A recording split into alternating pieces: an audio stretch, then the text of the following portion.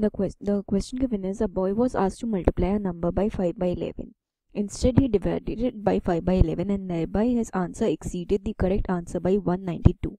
What is the correct answer? हम मान लेते हैं let the number be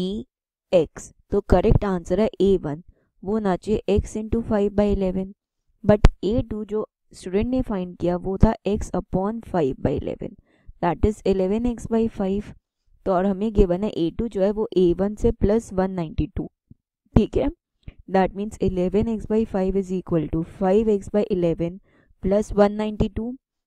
that is eleven X by five minus five X by eleven is equal to one ninety two L C M ले लेते हैं तो ये हो जाएगा one twenty one X minus twenty five X upon fifty five is equal to one ninety two that is eleven minus five six eleven minus two ninety six तो ninety six X is equal to fifty five into one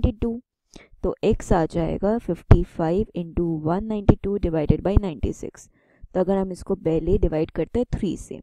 तो ये हो जाएगा thirty two times और ये हो जाएगा sixty four times तो ये टू टाइम्स आ गया. तो x की वैल्यू हो गई वन वन ज़ीरो के इक्वल और हमारा करेक्ट आंसर था A one that is five by eleven into X that is five by eleven into one one zero ये टेन टाइम्स तो five into ten is equal to fifty so our correct answer is fifty option देखते हैं तो option A is the correct answer